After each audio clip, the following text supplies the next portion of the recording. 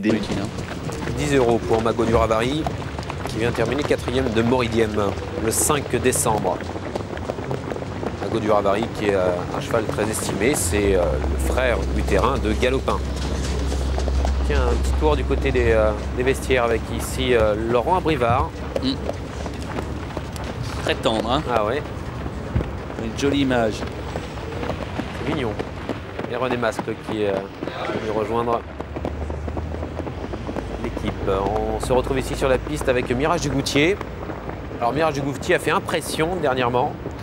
Il n'a pas couru depuis le 8 novembre, c'est une euh, légère rentrée, il n'a pas couru depuis euh, un peu plus d'un mois. Ouais, et puis il était déféré des quatre pieds le jour où il s'est imposé. Ouais.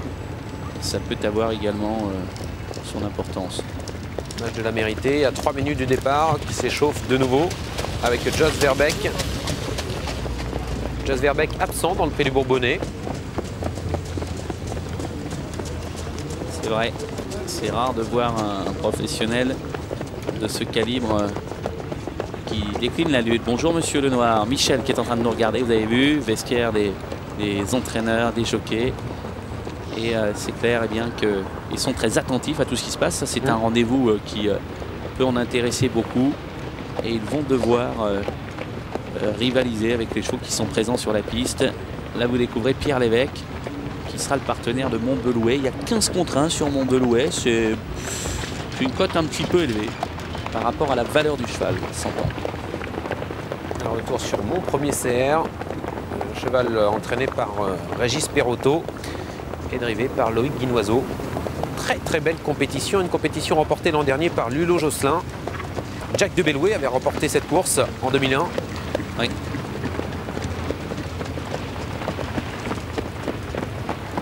2700 mètres à parcourir, poteau. qui aime ce type de parcours, qui dépend d'une écurie qui prépare souvent bien les meetings d'hiver.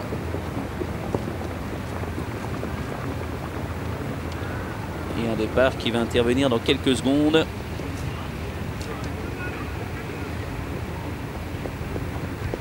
« 2,90€ pour Memphis du Rib, 3 euros pour le 6, mon premier CR.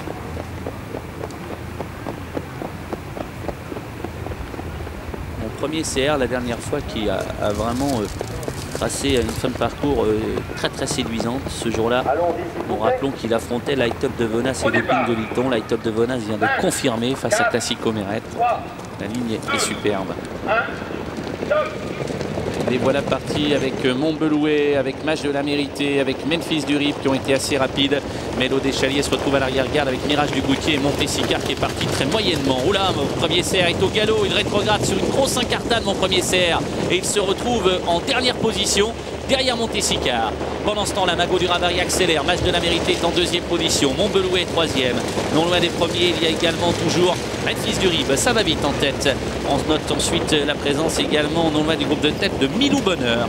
A un match terrible au commandement. Mago du Ravary ne veut pas laisser la tête à Match de la Mérité qui parvient quand même à lui prendre le commandement. Match de la Mérité seul en tête en deuxième position. Mago du Ravary, pas très loin des leaders Memphis du Rib qui n'a pas de dos et qui essaye euh, de revenir avec Montbelouet. Et la course est bloquée en tête car Match de la Mérité patiente maintenant. Mago du Ravary toujours dans son dos, ce qui permet aux concurrents qui étaient partis moyennement de revenir. Et notamment au numéro 5 de placer une belle pointe. Il s'agit de Mirage du Goutier. Attention car mon premier CR n'est pas hors course, loin s'en faut, puisqu'il vient de recoller au peloton. Jos Verbeek ayant mis un petit peu ses adversaires au pas. En tête dans la descente, match de la mérité. Précède en deuxième position Mago du Ravary. Il n'y a pas de train du tout. Montbelouet est troisième. Très loin du groupe de tête également, il y a le numéro 3, Milou Bonheur, accompagné de Mélo Deschaliers, avec un peu plus loin encore Mirage du Goutier, Montessicard et mon premier CR. Personne ne veut prendre le risque de venir en dehors de match de la mérité. Il reste 1450 mètres à couvrir. Match de la mérité est en tête. Toujours suivi de Mago du Ravary. Jean-Luc Claude Bersoir a un parcours euh, très moyen pour le moment, sans dos. Et précède encore Montbelouet, suivi encore également par Milou Bonheur, avec euh, Mirage du Goutier, Montessicard, mon premier CR et Mélo Deschaliers. Direction les 1250 derniers mètres. Montessicard tente de venir maintenant. Il accélère très très vite. Montessicard, il passe ses adversaires en vue.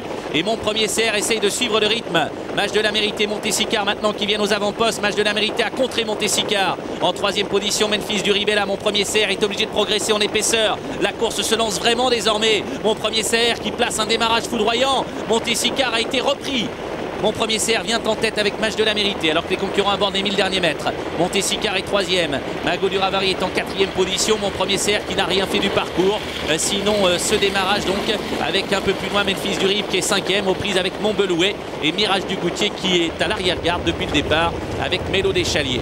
L'intersection des pistes est en vue. Bien joué de la part de Loïc Guinoiseau car euh, il a accéléré vivement. Il vient aux côtés de match de la mérité pour emborder le dernier tournant. Montessicar est là. À la corde, il y a toujours Mago du Ravari. Memphis du Rive a des ressources. Il va devoir négocier toutefois le tournant un petit peu en épaisseur. Match de la mérité. Mon premier serre en tête. Accélération. Montessicar qui vient ensuite. Mago du Ravari est à la corde. Memphis du Rive s'apprête à déboîter. Ça va très très vite maintenant. Match de la mérité qui essaye de lâcher ses rivaux. Montessicar vient fort. Memphis du Rive est pris de vitesse. Mago du Ravari tente de revenir. Ligne droite en vue. Il reste 350 mètres à faire. Match de la mérité. Essaye de cramponner tout le monde. Montessicar va terminer vite. Memphis du Rib, Mago du Ravari essaye de revenir. 150 mètres du poteau. Match de la mérité en tête. Attention à Memphis du Rib. Memphis termine de plus en plus vite. Mago du Ravari termine vite également à la corde. 50 mètres de l'arrivée avec Mago du Ravari à la corde. Match de la mérité. Memphis du Rib. Mago du Ravari qui va l'emporter devant Match de la mérité. Memphis du Rib sera la photographie d'ailleurs avec lui. Et c'est la plus grande victoire de Mago Duravari depuis le début de sa carrière. Il s'impose ici avec Dominique Cordeau, le frère utérin de Galopin Duravari. 14 euros. Il a longtemps attendu à l'accord Dominique Cordeau. Il a mené une bien jolie course. Deuxième place, semble-t-il, pour le numéro 7. Match de la mérité, grand animateur. Oui, il résiste jusqu'au bout pour la deuxième place. 3,70 euros. C'est troisième place pour Memphis du Rib à 3,20 euros le numéro 9. As 7 et 9. une victoire importante pour Dominique Cordeau, Bruno. Oui, je crois que le parcours a, fait euh, le gagnant. Hein. Mago Duravari n'a rien fait. Il a toujours été à la corde.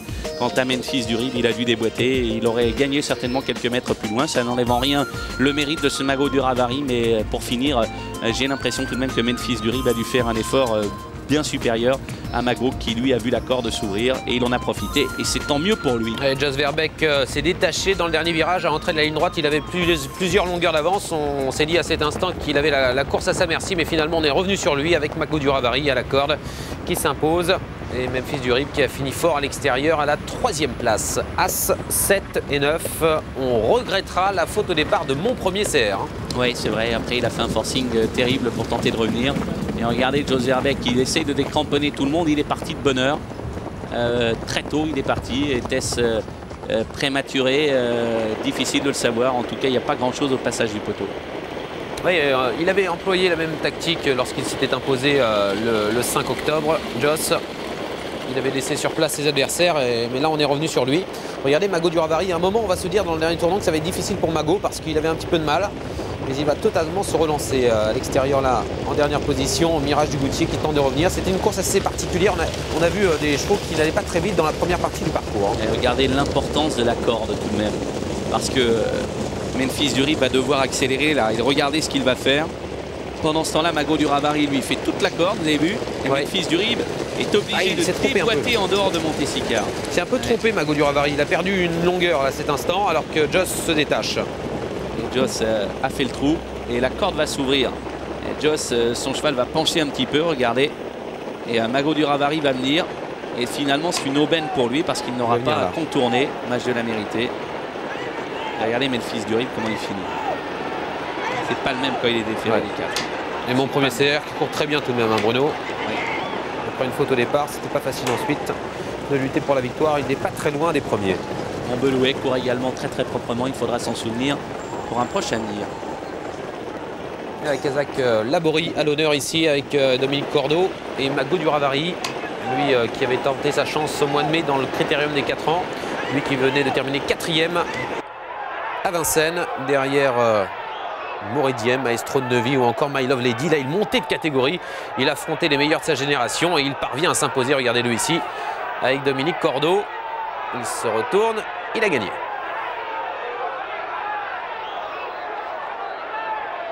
C'est la dixième victoire de Mago du Ravari en 19 courses. Euh, un coefficient de réussite excellent. Et Olivier. Oui, Dominique euh, qui a un grand sourire. Premier Smil classique avec euh, Mago, une grande victoire. Ben oui, c'est bien, parce que si vous voulez, il y a... on a tourné en rond au printemps. Euh, cheval courait alors qu'il était.